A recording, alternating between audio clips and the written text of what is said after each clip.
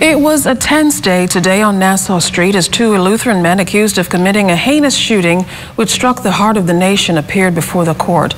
Our Antoine Smith was there.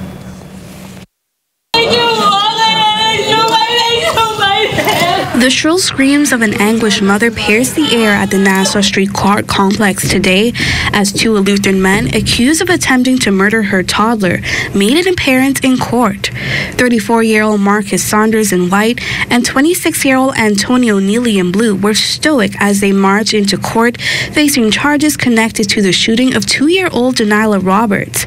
Their silence evoking emotion from family members who watched on the sidelines and the grandmother who reportedly held her granddaughter as she was shot.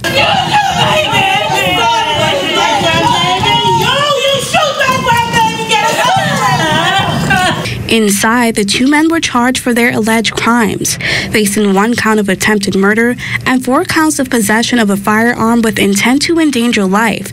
The men stand accused of the June 27th Hatchet Bay incident, where two men reportedly fired at a crowd and struck a two year old in the process.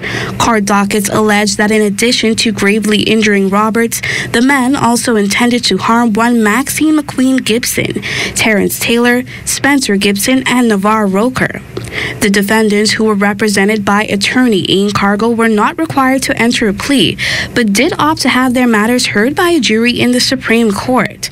And upon learning they would be placed on remand at the Bahamas Department of Corrections, the duo pleaded with Magistrate Samuel McKinney to be kept together, citing that they were from an island and didn't know anyone in New Providence.